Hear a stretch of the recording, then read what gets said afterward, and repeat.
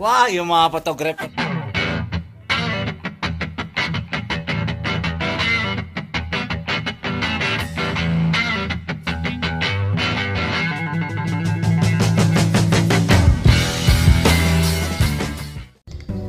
Hai teman-teman, hari ini kami sedang berada di perjalanan untuk menuju kota Dieng, di mana kota Dieng ini merupakan plate yang ada di Jawa Tengah.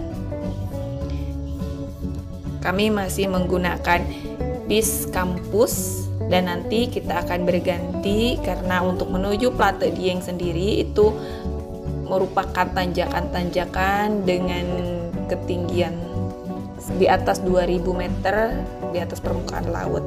Jadi nanti kita berganti travel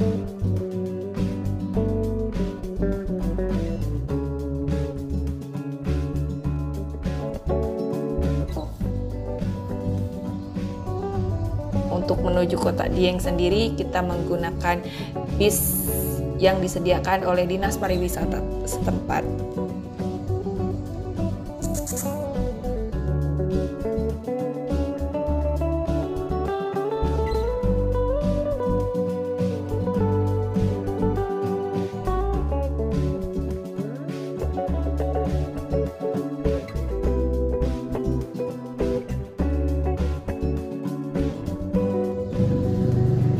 Di sepanjang perjalanan menuju kota Dieng, kami dimanjakan dengan pemandangan perkebunan kentang.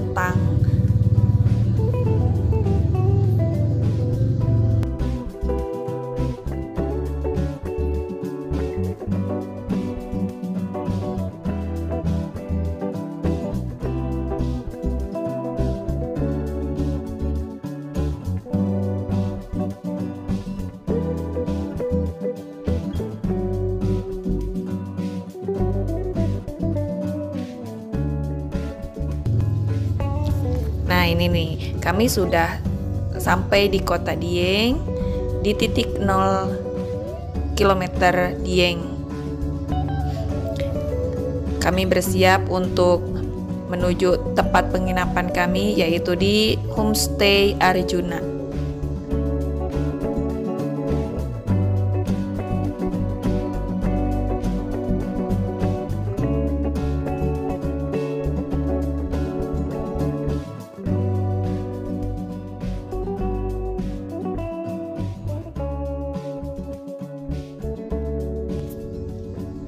Oke, karena ini waktunya sudah siang, yuk kita makan dulu sehingga di rumah makan Padang yaitu rumah makan Bagindo yang ada di kota Dieng ini sendiri.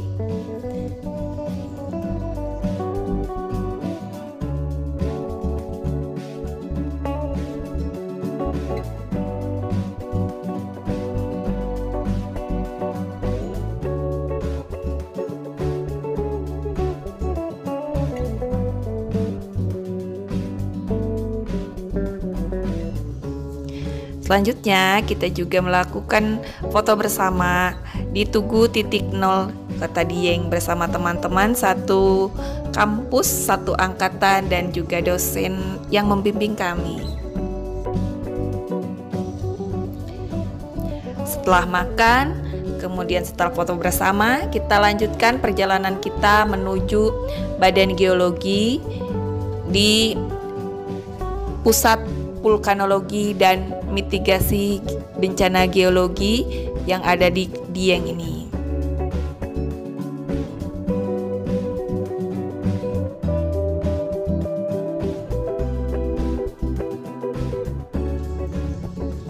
Di sepanjang jalan kita menikmati kota Dieng, pemandangan-pemandangan yang ada di sekitar ini dan juga perkebunan-perkebunan yang dipenuhi dengan perkebunan kentang.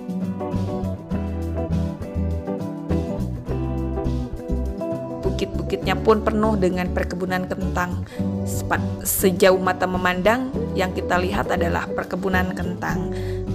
Sedikit-sedikit kita melihat ada semak belukar, ada juga pohon carica yang merupakan ikon kota Dieng.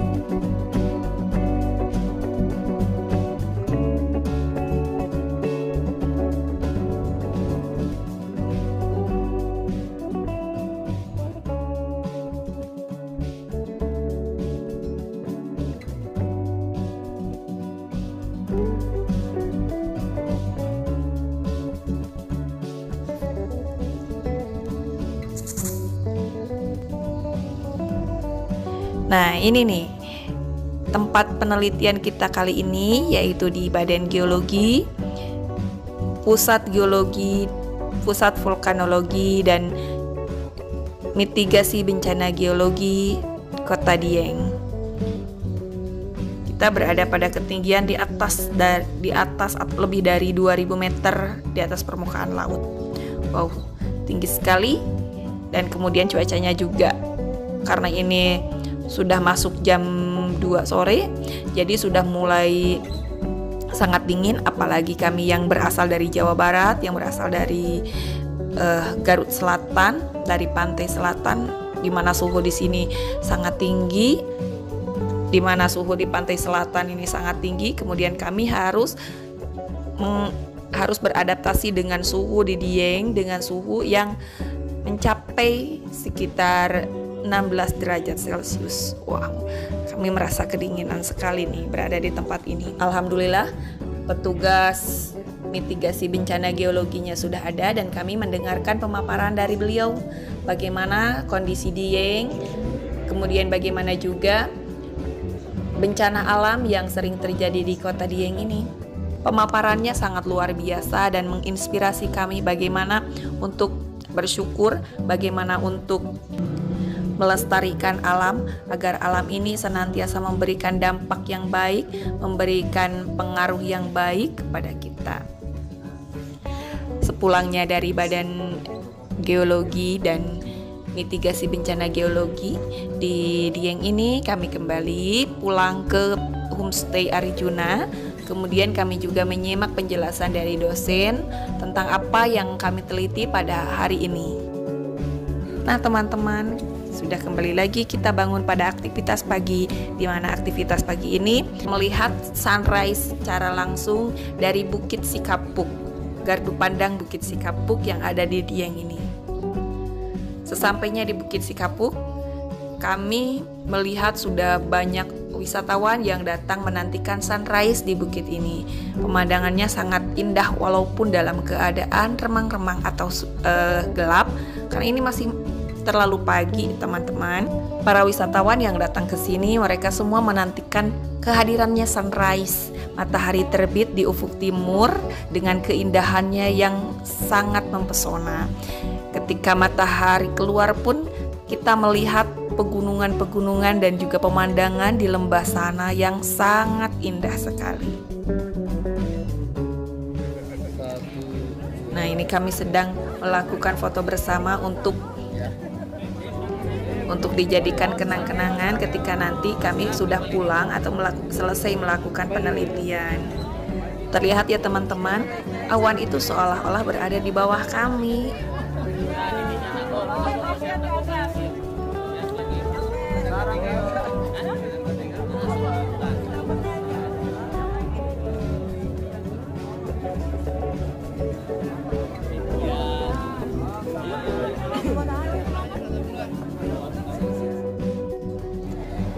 Setelah kami puas menikmati sunrise dari Bukit Sikapuk ini atau Gardu Pandang, kemudian kami turun untuk melanjutkan perjalanan karena kebetulan jalannya itu jalan yang jalan rayanya itu tempat kami parkir juga itu berada tepat di bawah bukit ini. Jadi ketika kita mau menuju arah Gardu Pandang, kita harus melewati tangga-tangga terlebih dahulu. Nah, pulang, pun kita juga melewati tangga-tangga itu, tangga-tangga yang berliku. Tapi jangan sampai liku-liku kehidupan kita justru malah buruk. Jadikanlah liku-liku kehidupan ini menjadi penyemangat, menjadi menjadi jalan untuk bisa cepat sampai pada tujuan. Begitu ya teman-teman. Oh iya teman-teman. Jangan lupa ada sabta pesona loh. Ada tujuh pesona yang ada di Bukit Sikapuk ini. Di antaranya ada aman, tertib, bersih, sejuk, indah, kemudian ramah, dan menjadi kenangan. Oleh karena itu, jagalah kebersihan garu pandang Bukit Sikapuk. Tuh kan, mataharinya sudah terlihat menunjukkan pesonanya. Berada di atas ketinggian, berada di atas awan, kita dapat melihat Berada di negeri di atas awan, kita melihat pesona dan keindahan matahari terbit di ufuk timur. Nah, sekarang mari kita pulang melewati tangga yang berliku, seperti liku-liku kehidupan. Untuk melewatinya, kita harus lebih berhati-hati ya teman-teman, jangan sampai kita terpeleset ataupun jatuh karena nanti bisa sakit. Jatuh di tangga si kapuk ini tak seindah jatuh cinta loh teman-teman. Harap juga dipertimbangkan ya. Ketika kita memasuki bukit si kapuk ini kita juga harus mempertimbangkan lahan parkirnya. Kebetulan lahan parkir di gardu pandang bukit si kapuk ini cukup sempit sehingga kalau misalnya terjadi kalau misalnya di waktu libur panjang seperti sekarang kita harus memprediksikan di, di mana kita parkir. Nah, mobil kami pun terpaksa harus parkir di pinggir jalan ini. Jadi, ketika kita mau pergi ke gardu pandang si kapuk ini, tolong ya teman-teman untuk ikuti tata tertib dan aturan yang telah disediakan oleh petugas objek wisata di sini. Jangan sampai keberadaan kita malah menjadi pemicu terjadinya kemacetan.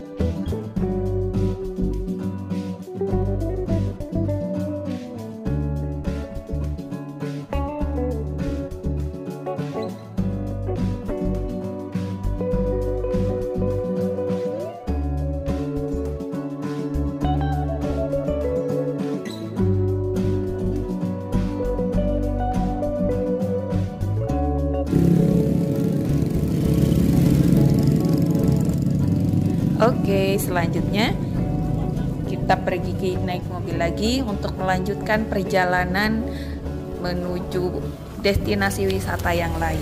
Ya, kita harus berjalan dulu karena kebetulan kita ke bagian parkirnya di pinggir jalan. Terima kasih teman-teman.